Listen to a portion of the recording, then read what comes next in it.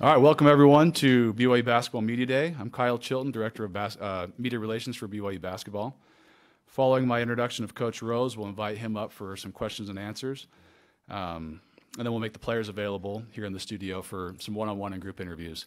We'd also like to recognize the, some members of the Chinese Basketball Association. They're here as guests of Coach Rose. Uh, coach Rose is entering his 12th season as BYU men's basketball coach with a record of 283 and 99. He is second in team history in career victories behind the late Stan Watts, a member of the Basketball Hall of Fame.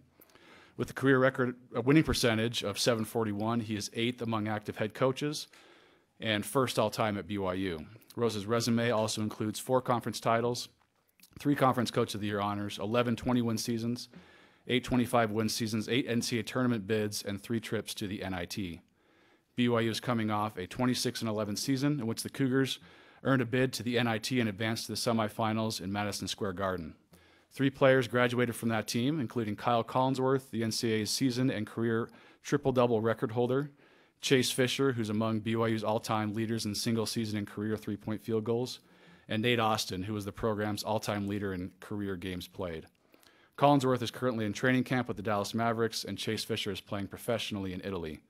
Also from that team uh, is Zach Seljaas, who is serving an LDS mission in Iowa. The 2016-17 roster includes six players who played on the team last year, including starting center Corbin Kaufusi, who is playing football for Kalani Sitake, and will join the, the basketball team later on. Uh, other returning starters include Nick Emery and Kyle Davis. The roster also includes nine players who did not suit up for the Cougars last season, including a return missionary who played as a freshman in 2013-14, a senior transfer, a newly eligible transfer, and six freshmen. Coach Rose will be able to tell you a lot more about those guys. Uh, we'll now bring Coach Mike Rose up to the microphone. Uh, we're not going to pass the microphone around, but as you ask questions, we've got microphones above you. We ask you to speak clearly and state your name and your organization before asking your question. Um, let's see. And that's it. Uh, Coach Rose.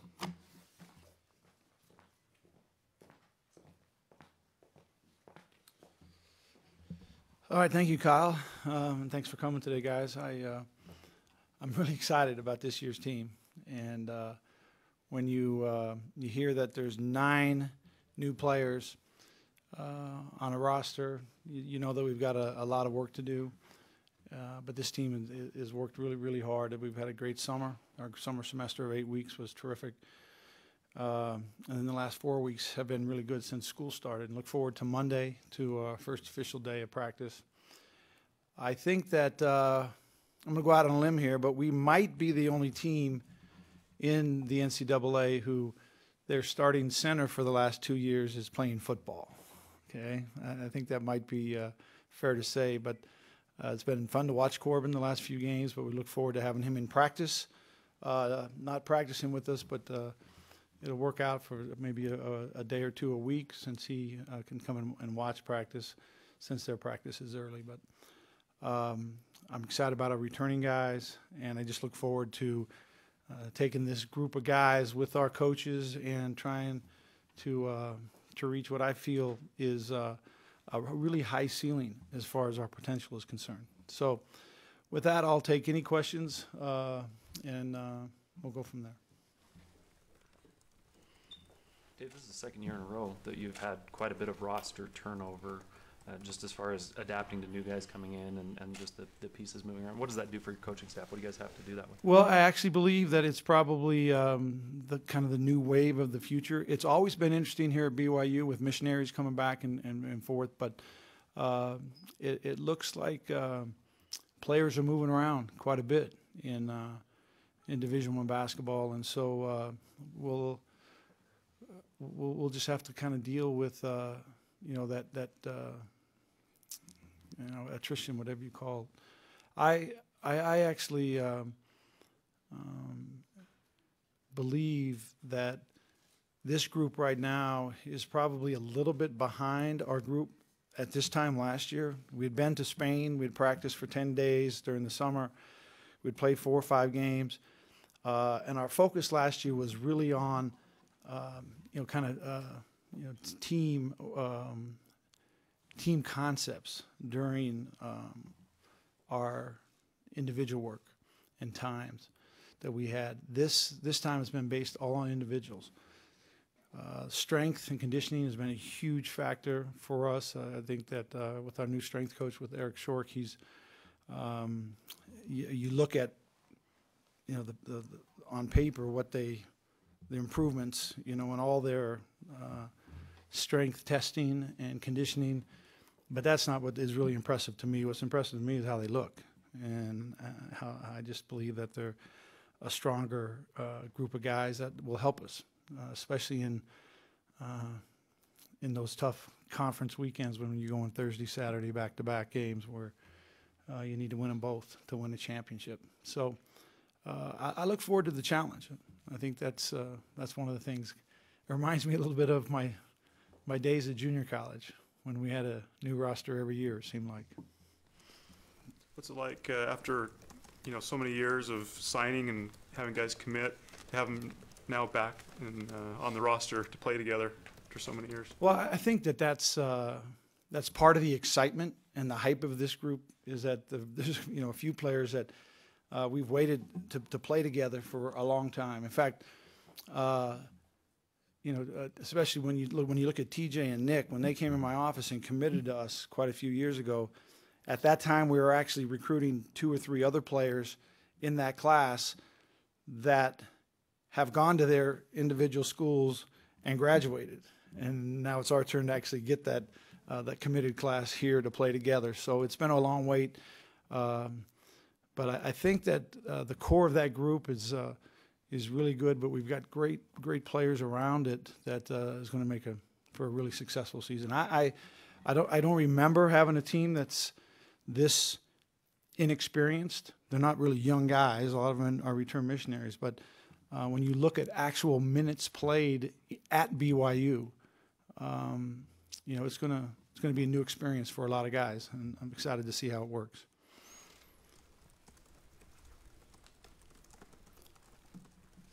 Dave, we Yeah. kind of ask every, every year, how's your health? How are you feeling? Feel great. Uh, you know, I, I had uh, I, I do look forward to August and September. That scan that I have every year is within a four or five week period, uh, and uh, we go every six months, so it actually works out pretty good when you get a clear scan. And uh, April's my next date, so looks like I'll have a, a, great uh, opportunity to be with these guys all, you know, all season, and that's what I look forward to every year. How, Yeah. how much of a selling job did you do with LJ to get him here? You had it in because you had played with his dad, but where, where, how did you sell him on BYU? Well, I think it's a perfect fit for LJ, and I think that he recognized that. Uh, when you we have one senior on our roster in Kyle Davis, and uh, and then you know we're looking for we had quite a few guards transfer, and we're looking for uh, an experienced player to, to come and help our help our team. And I think that uh, you know there's so many ways that he can help us, and I think that when he came here and he visited and he felt comfortable with the players and with the atmosphere here. Uh, I think he just thought that this would be a great place for him to, to finish his career, and we're really fortunate to have him. Can you assess the point guard position right now? How you look at it? Well, uh, the way I look at it right now is that we've got probably uh, four, five, maybe five guys who can actually play the point guard position. I'm uh, uh, I'm going to let that kind of play out, work itself out as as we go through our our preseason. I'm not really as worried about uh, our point guard position as I am just about the way we're going to play with our guards. I, I'm actually really excited um, to have a group of guys who be skilled at that guard position. And if they're point guards, or if they're scoring guards, or if they're shooting guards, or uh, we'll, we'll, we'll kind of let the other team figure out what's happening with this group because I believe that it's very versatile, skilled group of guys, maybe as good as we've had, with the, with the with the opportunity uh, to actually play that position. So uh, I'm excited about that. But I, I do believe that uh, one of the best teams I ever coached was at uh, a junior college, and I had uh, four different uh, guys who signed Division One. They all played, and they all signed Division One scholarships, and three of them were player uh, newcomer of the year, and they were all point guards. And uh, I think that's a, a good way to play when you've got a lot of guys out there who can run a team and are really skilled. So we'll see how the see how it plays out.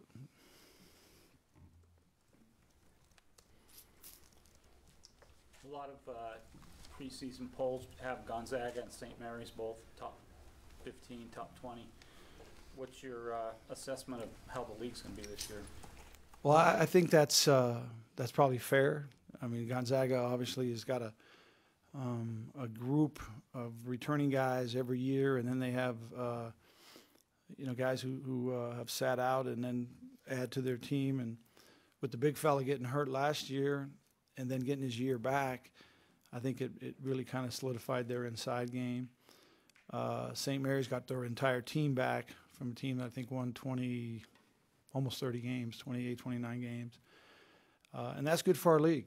You know, that's good for our league. It's going to be a real challenge uh, to go through the league and, and try to win it. But uh, I know that that's the focus of our guys. There's no question that what, wh- how they pushed themselves this summer and, and wh- you know, why they were, um, you know, as determined and dedicated as they were is because uh, that's what we want to do. We want to win the regular season championship. We want to win the conference championship and get to the NCAA tournament, advance as far as we can, and that's what these guys are are focused on. I think Jay that uh, when you have nationally ranked teams in your league, that that's uh, that's a great thing. I think it's uh, it's an even better thing when we're one of those teams, but uh, with a young group like like we have, we're gonna have to play our way into that. And uh, but I think Gonzaga and St. Mary's are both worthy of preseason rankings. The uh, Princeton game came kind of late in the schedule. Could you tell us how that kind of came about? Yeah, I- think that you, you know, we announced it a couple days before um, it was announced as a E ESPN marathon game. We had a really difficult time finding a matchup for that game. And uh, um, ESPN wanted a home game here at the Marriott Center. And uh, we, we, were, we felt like maybe it wouldn't happen. We went through probably seven or eight different possibilities, clear from the beginning of May all the way till late August, and all of them fell through for one reason or another. And uh, and then this came about uh, late, and uh, it's a great it's a great opportunity for us, and I'm glad we were able to work it out. We had to kind of change a few things, and uh, Norm Parrish is a, a good friend of mine at, at Westminster, and he was one that helped us out and uh, allowed us to move the, the BYU Hawaii game, which was really important to me to get that game in because this is the last year that they're actually having their basketball program. I thought it'd be uh, a good thing for us to be able to play them because they always like to come over and play us. Uh, but with Norm at Westminster, we'll play him in an exhibition game in the next two years. So uh, Princeton, if you look at the, the the projected RPI ratings for this year based on returning players and new players, they they have a uh, you know a, a, a chart that comes out with everybody's projected RPIs, and and theirs actually the best RPI of our preseason schedule. I think they're in the 30s, so it will be a very uh, uh, interesting opponent to start the first first game of the season. I, I think that uh, you know they played West West Virginia. No, no, no. They played Virginia Tech uh, in that quarterfinal, some quarterfinal of the NIT, I think. And uh, and they uh, you know, there was a game before Virginia, Virginia Tech won. Uh, Princeton was ahead the whole game, but Virginia Tech won, and then they came out here and played us. So it was probably uh, the round before the quarters, but uh, played him really well. And that's a film that I've kind of watched when we were talking about maybe the possibility of getting him. So we're excited. A lot of work to do. They've got a lot of returning guys. They took a trip to Italy during the summer, so they played four or five games together as a group. Uh, and so that, that November 14th game will be exciting for all of us to get, get started and get ready to go. Yeah. You take credit in any way for uh, Corbin Kaufusi making that fourth down conversion catch? No, I don't take any credit for that. I, I think that I know he was excited. I've actually seen that look uh, on the basketball floor after you know a, a block shot or a big dunk uh, of him running off the court, uh, off the field, excited for that catch. But uh, I'm, I'm, I'm excited for Corb and for, for Steve, for, for Corb's dad. I, I think that that's a unique opportunity uh, to be able to, to, to coach your son. And, and it, you know, there's no, there's no secret here that, that Corb wanted to play football at BYU his whole life. And uh, so I, what I'm hoping is that our team is ready for him when he comes because he'll be a great addition. He's gained a lot of weight. His, his strength, his confidence uh, should just be because he's got experience, and, and, and we can really use his experience, especially at the time that he actually joins our team. Yeah. Can you address the post, post depth and maybe the continuation this year of the in-out game? Well, I, I think that uh, every year, you know, we, we really look for, we, we- we're a pretty guard oriented program over the, the last three or four years.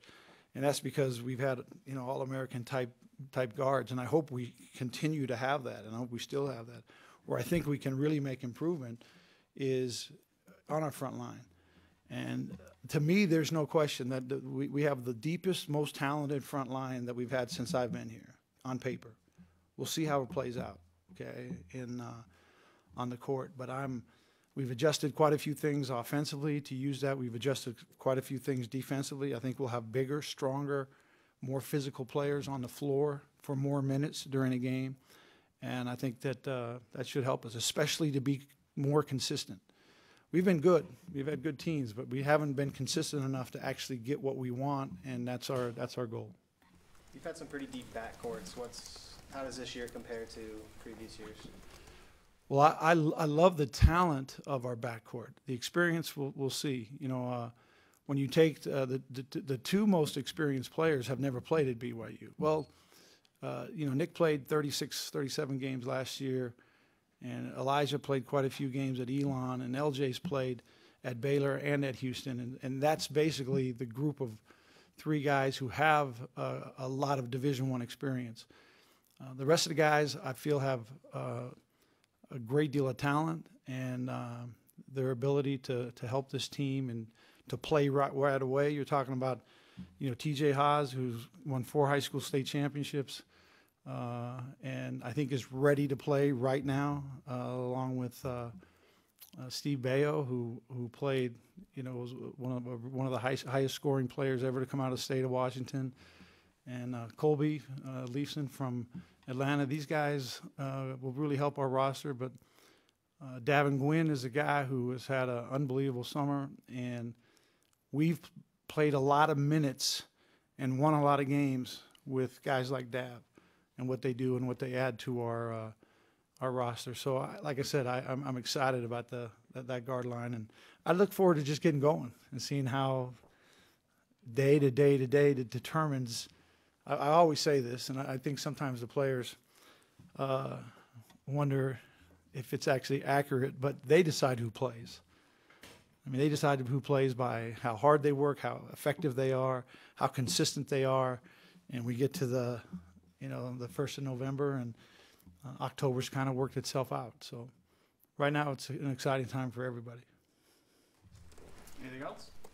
We we passed by the annex on the way here. It looks like it's pretty close. But any updates on that? When You like that? plan moving in? That's pretty It's nice. pretty nice. Yeah. Yeah, it is nice. And it's not going to be finished until uh, 1st of December. So I would imagine we'd move in there um, maybe during finals week or during the break of the semester. But uh, there's a chance we're going to practice in there next week. And that's that excites all of us. The gym looks, you know, terrific, and, and the contractor is in the process right now of trying to put, put the finished coat on the floor and finish the actual gymnasium part of it. And uh, uh, on Monday, we practice in the Marriott Center, but on Tuesday, um, our homecoming spectacular group moves in there for about 10 or 12 days. And so uh, the plan right now is that we'll practice at uh, 2.30 in the annex gym on uh, October 4th. But it's on schedule to be finished 1st of December. Okay. All right, thank you very much, and uh, appreciate you coming, look forward to a great season.